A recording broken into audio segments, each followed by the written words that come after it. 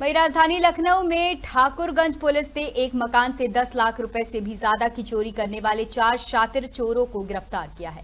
बता दें कि बीते 3 जून को ठाकुरगंज के कृष्णावती कॉलोनी फरीदीपुर में चार चोरों ने शटरिंग कारोबारी अब्दुल तौहीद के घर चोरी की वारदात को अंजाम दिया।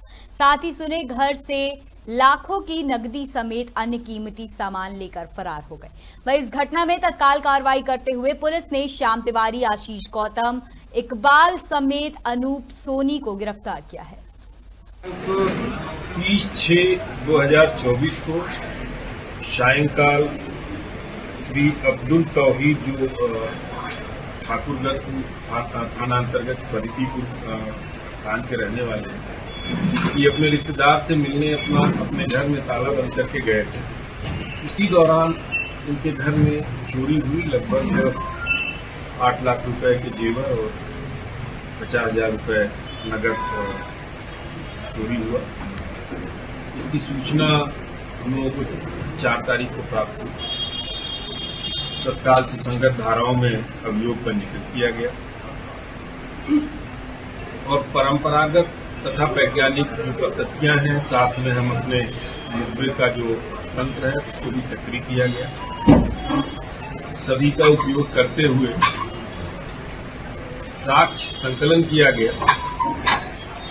तो जो अभियुक्त इसमें प्रकाश में आए जो चोरी करने में सम्मिलित थे। एक श्याम तिवारी, जो ठाकुरगंज के रहने पर रहने वाला है।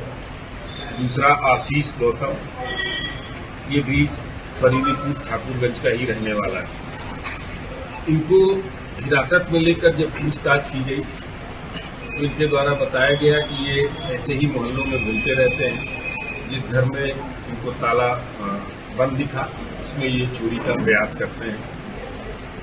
यद्यप जैसा इनके द्वारा बताया गया, ये चोरी की इनकी पहली घटना है। पूर्व में श्याम तिवारी एक चेन स्नैचिंग के मामले में गिरफ़्तार हो चुका है। पूछताछ के बाद इनके द्वारा बताया गया कि चोरी इन्होंने ही की है और जो चोरी का सामान है वो आशीष सैनी, अनूप सैनी और मोहम्मद इकबाल के पास है। उनको भी गिरफ़्तार किया गया। इनके कब्जे से सब प्रतिशत बरामदगी की गई। मात्र पंद्रह हज़ार रुपये जो चोरी इन्होंने किया था, उसमें से खर्च किया है। पैंतीस हज़ार रुपये और लगभग नौ लाख रुपये के जेवर जो चोरी करके ले गए थे, वो सभी बरामद है आपके सामने। है